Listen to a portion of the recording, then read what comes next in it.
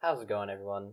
Uh, this is a video going to be um, one part of a tutorial series I'm planning to make um, that will um, show how to make a very simple platformer um, with the objective to um, control a player to avoid obstacles such as like spikes that can um, destroy you and then res- res- reset the entire level. And then something like a, a goal item, um, which will be required in order to complete the level in order to go on to the next stage. Um, that is kind of the overarching goal. Um, but in this video, I'm just going to do some. Um, we're going to make a program that will uh, have a player that you can control, um, that will also have gravity applied to it. Um, it won't be anything super complicated. Um, but it will be somewhere where you can start off. Um, so to start off, uh, you're gonna need a um, a directory um, somewhere that you can run uh, the Love engine on. Um, so I just have it uh, on my desktop in a folder named Lua inside another folder called YouTube Platformer, and then in here I have two files, um, conf.lua and main.lua. Um, as you can see, main.lua is empty, and then conf.lua just some and contains an instruction to put the love window on my second monitor that I'm recording on. Um, so if I run this, um, as you can see, empty uh, game comes up. Essentially empty. Um, so uh, let's get started. We're gonna need um, to define our player um, as a table. And inside this table, we're gonna get some some basic. Uh, we're gonna fill it out with some some variables. So x position, uh, y position are the must need requirement minimum for anything you're gonna draw on the screen. It needs x and y position. Uh, has been a, a width variable. Uh, for now, we'll just set this to something like 32 and the height variable, um, which we'll assign to 64. Um, so the height will be two times larger than the width. Uh, and we're also going to need a gravity variable, which will be our constant. Um, a uh, sort of gravity, um, and then as well as um, a run speed.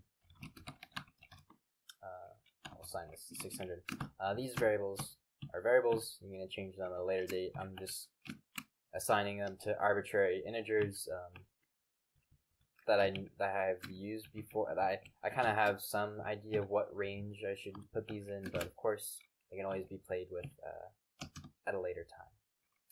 So um, now we have our player table. Let's define some uh, some functions that we need. So we're going to need um, an initialization function. So player.initialize, um, we're going to take an x and a y, and then we're going to assign the player.x and player.y um, to the arguments. Now we have that. Um, I guess I should call this set position because that's really what's happening. Um, so now we have player.setPosition. Let's make another variable called player.update. And then we're going to call some functions that we haven't made yet, um, but we will in just a second. So player.move. Uh, uh, and then also we're going to pass in dt into that move function. And then also player dot uh, apply gravity. And we're going to pass in dt to there as well. So, uh, now that we have um, our update function, let's uh, create those functions that we haven't made yet. So player.move. Um, so this player.move function, um, it's going to contain the code uh, that will move our player. Um, you probably have seen this code before. Something similar to it. Um, basically, we're just going to have the ability to move the player to the left and to the right. And so if the low, if the key, if the D key is being pressed down, then we're, we're going to want to uh, set the um, uh, player.x equal to player.x um, plus player.speed or player.run speed times dt. Um, else if the A key is being pressed down, then we're going to assign player.x variable to player.x uh, plus minus, actually, not plus, player.run speed times dt, because we want to move to the left. And you can replace the A key with left for arrow key, and same thing with the D key, you can replace it for right for the arrow key, for the right arrow key, but um, I like A and D because it's like WASD. Um, so yeah, there we go. Um, some basic, really, really basic movement on the x-axis. Now that we have that, let's do, let's apply the gravity uh, to the y position. And so for now, we're just gonna uh, always update the uh, player.y. Um, so player.y equals player.y plus player.gravity times dt. Um, unfortunately, this is not exactly what we want. We want acceleration, and what this is is that it's constantly updating some um, our player.y value.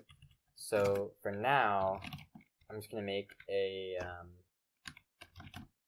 a variable called dy. Um, it actually doesn't need to be local, but um, I'll make it simple and not make it local.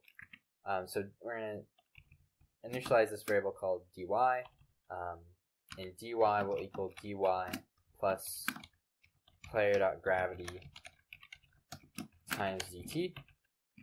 And then what we'll do here is now that we have we're we're linearly basically this this our dy variable is being updated linearly. So what we'll do with that is we'll replace this player.gravity dy. And what this will do is that it, it will accelerate the um, our player object on the y-axis. Oops. Cool. Now that we have that, um, let's uh, let's use it with our love functions.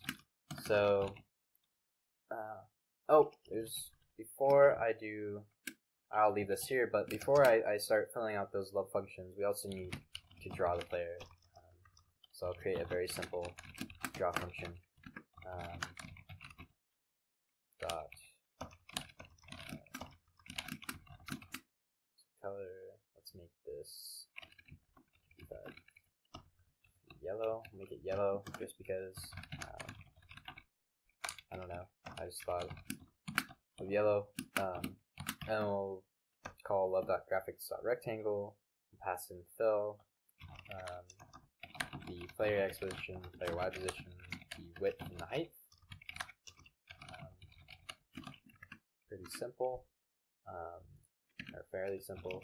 Uh, so now, uh, let's set let's initialize our our initial position um, to something like I don't know 100 0 or actually maybe something like uh, like the the center of the screen so or pretty close to the center to the middle of the of the x-axis of the window. Um, so love.graphics.getWidth width gets the width of the window and divide by 2, so you get the, the middle um, x position of the window.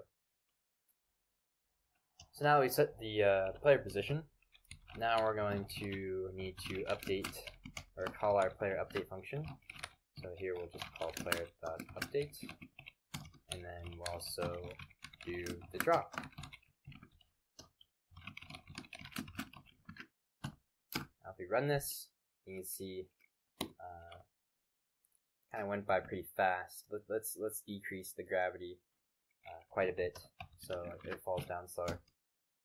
So you can see uh, it's going down, accelerating. Uh, starts off going accelerating fairly slow, and now it's accelerating, uh, or eventually will accelerate at an infinite rate. Um, but that would take an infinite amount of time. Um, yeah, ignore what I just said. Doesn't really matter. Essentially, uh, what we have is we have a player. We move it right and left, even though it kind of looks pretty jerky movement. Um, we have movement nonetheless. Um, so that concludes our first episode. Um, I hope you learned something. Um, I hope uh, um, if if nothing if if something didn't make any sense, that you comment in the comment section below.